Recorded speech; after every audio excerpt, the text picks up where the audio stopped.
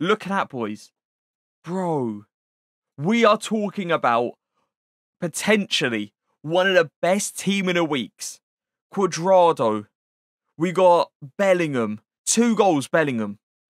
Uh, Martinez, two goals and an assist. Vinny, two assists. I don't think Vinny will get it. I'll say it right now. I don't think Vinny will get it. Haaland, two goals. Messi, goal, two assists. Mbappe, two goals and assist. He slid in a Wobie like we would have noticed. uh, yeah, but the team is looking crazy, man.